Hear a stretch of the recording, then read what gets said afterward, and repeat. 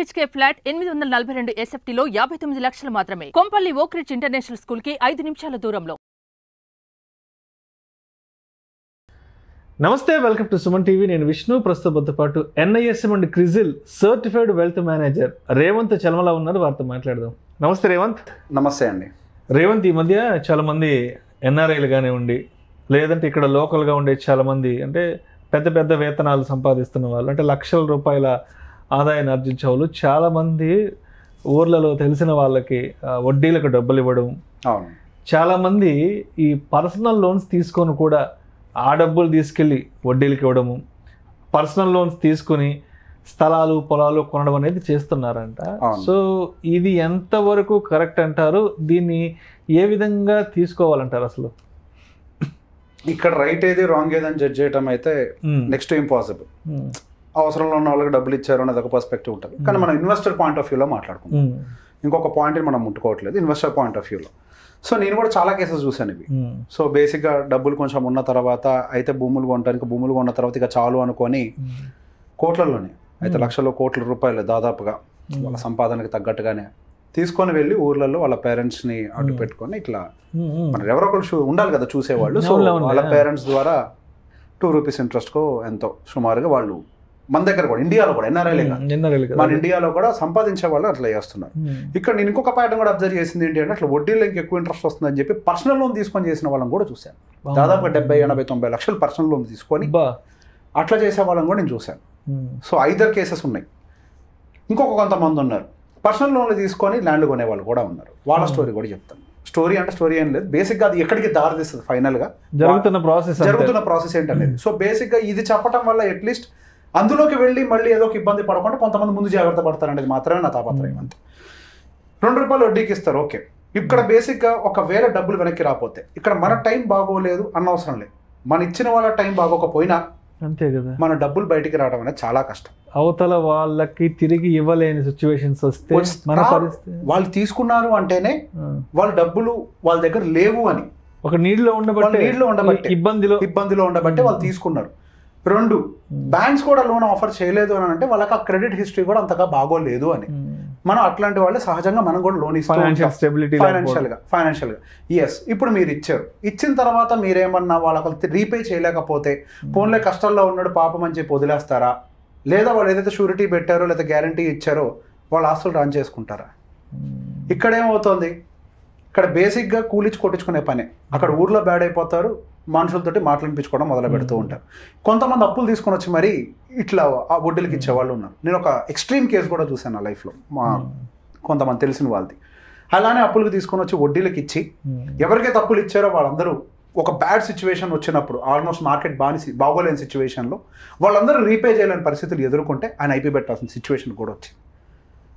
So బేసిక్గా ఇక్కడ మన టైం బాగోలేదా అనేది కూడా కాదు. అవతల వాళ్ళ పరిస్థితులు బాగోకపోయినా మార్కెట్ కండిషన్ బాగోకపోయినా అక్కడ మన డబ్బులు తిరిగి రాకపోవడానికి ఎక్కువ అవకాశాలు ఉంటాయి. సో బేసిక్ ఇక్కడ మనం కేవలం వడ్డీలకు ఇవ్వడానికి గల కారణం ఏంటి అంటే మనకి యావరేజ్గా ఒక టూ పర్సెంట్ ఇంట్రెస్ట్ అనేది జనరేట్ అవుతుంది. అంటే which is equal to twenty four percent per annum ఇక్కడ నేను ఒకటే లాజిక్ చెప్తాను ట్వంటీ ఫోర్ పర్సెంట్ కోసం మీరు అంతంత కోట్ల రూపాయలు తీసుకొని వెళ్ళి మీరేమన్నా నిజంగా వడ్డీ వ్యాపారం చేసే దమ్మున్న వాళ్ళ అంటే లేదు. సాఫ్ట్గా సాఫ్ట్వేర్ ఇంజనీర్లు డబ్బులు ఇవ్వకపోతే ఇంటికి వెళ్ళి గొడవలు చేసి డబ్బులు వసూ- వసూలు చేసే బ్యాచ్ కూడా కాదు. Right twenty four percent interest వస్తుందని చెప్పి మీరు రిస్క్ చేసి మీరు ఆ డబ్బులు తీసుకొని వడ్డీలకి ఇస్తున్నారు. ఆ ట్వంటీ ఫోర్ ఫోర్ పర్సెంట్ అనే రిటర్న్ యావరేజ్గా సరే ట్వంటీ ఫోర్ కాకపోతే అంటే రెండు రూపాయలు వడ్డీ కాకపోతే రూపాయన్నర వడ్డీ అయినా small and mid cap generate చేస్తున్నాయి కదా. మీకు ఇక్కడ క్యాపిటల్ రిస్క్ లేదు కదా. ఇప్పుడు మీ సొంత డబ్బులు ఉన్నాయి. రూపాయన్నర వడ్డీతోటి క్యాపిటల్ రిస్క్ లేదు. ఒకరితో మాట అనిపించుకునే పని లేదు. మీ లైఫ్ అంతా సెక్యూర్డ్గా ఉంటుంది డబ్బులు లీగల్గా ఉంటాయి. అండ్ రెండు మీరు సంపాదించే డబ్బులు ఏమైనా వైట్ మనీయా మళ్ళీ?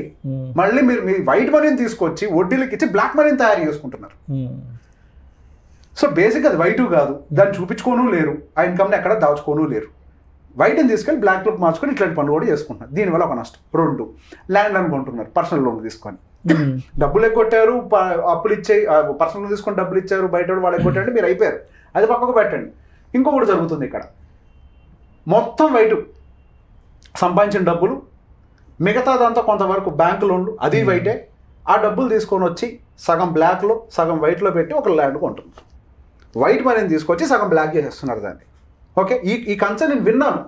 నేను సంపాదించిన డబ్బులు నాకు తెలియకుండా నెట్ వర్త్ నాకు కనిపించట్లేదండి అని. రైట్ ఇక్కడ ఏం చేస్తున్నారు?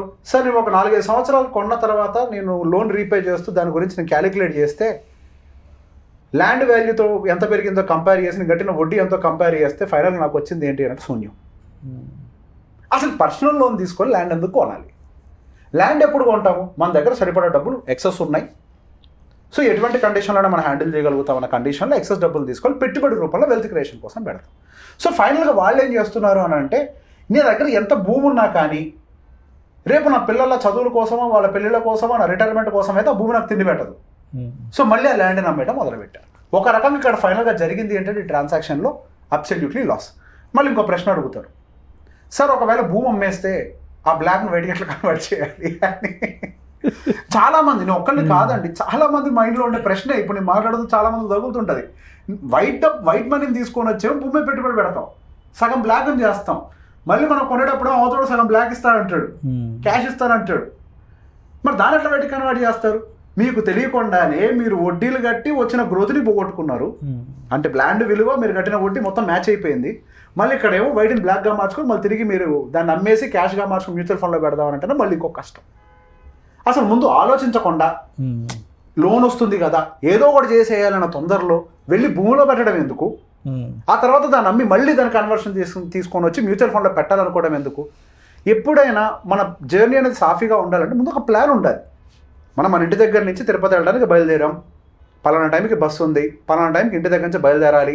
పలానా టైంకి వాడు ఇక్కడ పలానా హోటల్ దగ్గర ఆపుతాడు. ఈ టైం మనం భోజనం చేస్తాం. పలానా టైంకి ఇక్కడ దింపుతాడు. ఈ టైం నేను లాడ్జ్కి వెళ్ళాలి. స్నానం చేయాలి. దర్శనం చేసుకోవాలి. మళ్ళీ పలానా టైంకి రిటర్న్ జర్నీ. ఒక ప్లాన్ ఉంటే స్మూత్గా వెళ్తుంది. నాకు నచ్చినట్టుగా చేస్తానంటే. లైఫ్ ఎంత మిజరబుల్ అవుతుంది? Where there is no plan there is no guarantee plan ఉంటే కొంత గ్యారంటీ ఉంటుందేమో లైఫ్లో. సో ప్లాన్ చేసుకోవడానికి ఫస్ట్ హెస్టేట్ చేయొద్దు. ఫస్ట్ ప్లాన్ చేసుకోండి. నిజంగా మీకు ఆ భూమి కొనడం అవసరం అది పర్సనల్ లోన్ పెట్టుకొని. లేదా మీకు నిజంగా other cash related component needs ఏమైనా ఉన్నాయా? లైక్ ఎడ్యుకేషన్ రిటైర్మెంట్ ఎక్స్వైజెడ్ అనేవి. ముందు ప్లాన్ చేసుకొని చేస్తే మీకు ఈ సంవత్సరాల ఈ ఐదు సంవత్సరాల మూడు సంవత్సరాల జర్నీ వేస్ట్ కాదు. ఇన్ బిట్వీన్ ఈ ట్రాన్సాక్షన్ కాస్ట్ ఈ ఎక్స్చేంజ్లు ఈ తలకాయ నొప్పులు ఈ టెన్షన్లు కూడా ఉండవు. ప్రతి నెల మళ్ళీ పర్సనల్ లోన్ కట్టడానికి అరవై వేలు డెబ్బై వేలు పంపించాల్సిన పని కూడా ఉండదు. ఉమ్. సో బేసిక్ ఒక పని మనం ప్రారంభించే ముందు మనం చిట్టి సో డబ్బులు వడ్డీకి ఇస్తున్నామా లేకపోతే స్థలం కొంటున్నామా అన్నా కానీ ప్లాన్ చేసుకొని మొదలు పెట్టాలి. ఒకటి ఎన్ఆర్ఎల్ కానీ ఎవరైనా కానివ్వండి. ఎన్ఆర్ఎల్ విషయంలో ఒకటి అబ్జర్వ్ చేశాను వాళ్ళకి ఎక్కడ పెట్టుబడి పెట్టాలో కనిపించాక తీసుకువెళ్ళి వడ్డీలకి ఇస్తున్నారు ఇన్కమ్ కావాలి అని. దాన్ని ప్యాసివ్ ఇన్కమ్ అనుకుంటున్నారు. How can it be a passive income it is a business income. Interest income is called as a business income it is not a passive income ఏదన్నా తప్పు జరిగితే బిజినెస్లో డబ్బులు పోయినట్టు ఇందులో కూడా డబ్బులు పోతాయి. డబ్బులతో పాటుగా మన బ్యాడ్ టైం ఏంటంటే బ్యాడ్ థింగ్ ఏంటంటే మనం డబ్బులు ఎవరికైతే ఇస్తాం వాడే నాలుగు బూతులు మనం కూడా తిడతాడు. డబ్బులు పోతే పరువు పోతుంది. సో అది కరెక్ట్ కాదు. పర్సనల్ లోన్లు తీసుకొని వచ్చి ఇక్కడ మనం డైరెక్ట్గా పొలాలు ప్లాట్లు కొనడం కూడా మంచిది కాదు. ఈ రెండు కూడా మన ఫ్యూచర్లో ఇబ్బంది పెట్టేవే కానీ ఇప్పటి వరకు నేను విన్న కేసెస్లో నాకు ఇది ఉపయోగపడ్డది అని చెప్పిన వాళ్ళైతే లేరు. మొత్తానికి ఎప్పటికైనా తలనొప్పులే. ఎప్పటికైనా తలనొప్పిగా మారేది అది. తలనొప్పిగా మారేదా?